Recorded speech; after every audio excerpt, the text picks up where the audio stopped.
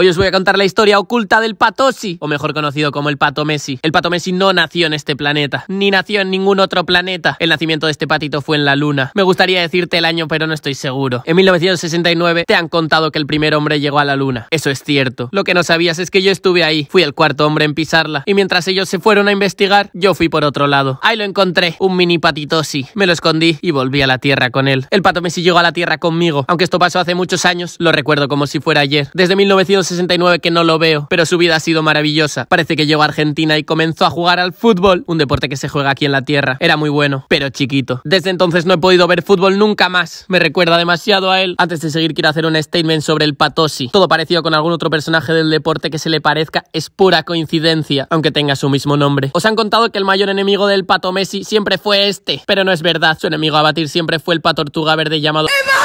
Y eso que han estado en el mismo equipo, jamás los vi. Pero me han contado que alguna vez se enfrentaron. Pero obviamente el Patortuga no tuvo nada que hacer. El Patosi y el Patoku siempre han sido íntimos amigos. Yo esto no lo sabía, pero parece que se conocen desde pequeños. El Patosi le enseñó a patear la bola y el Patoku a usar su energía al Patosi. Claro, ahora lo entiendo todo. Gracias a eso es que el Patosi ha podido ganarlo todo. Hasta la Copa del Mundo. Ahora, antes de retirarse, solo le queda un último propósito. Derrotar a estos dos patitos. Patosi, Patoku, tenéis mi permiso para arrancarles el pico de cuajo. Fin.